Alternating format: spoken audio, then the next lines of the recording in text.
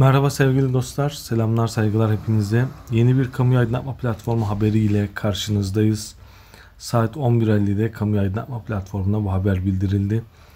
Birleşim Mühendislik Isıtma Soğutma Havalandırma Sanayi ve Ticaret Anonim Şirketi yeni iş ilişkisini bildirdi arkadaşlar. Son zamanlarda Borsa İstanbul'da yukarı doğru büyük bir ivme yakalayan şirket biliyorsunuz. Şirket bağlı ortaklığın iş ilişkisi kurması ile ilgili güncelleme bir haber bildirmiş. Daha önce 8. ayın 21'inde bu haberi burada tekrar bildirmişler arkadaşlar. Reç Uluslararası İnşaat Yatırım Sanayi ve Ticaret Anonim Şirketi ile toplam 271 milyon 355 bin 371 liralık büyük bir iş anlaşmasına imza atılmış, sözleşme imzalanmış arkadaşlar.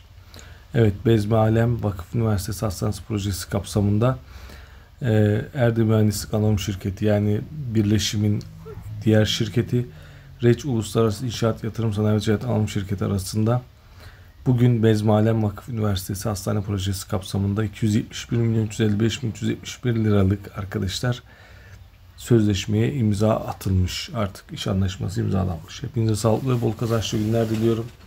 Lütfen yatırım yapacağınız şirketlerin geleceklerini yapmış olduğu iş anlaşmalarını, bilançolarını ve sektörlerini iyi analiz ediniz.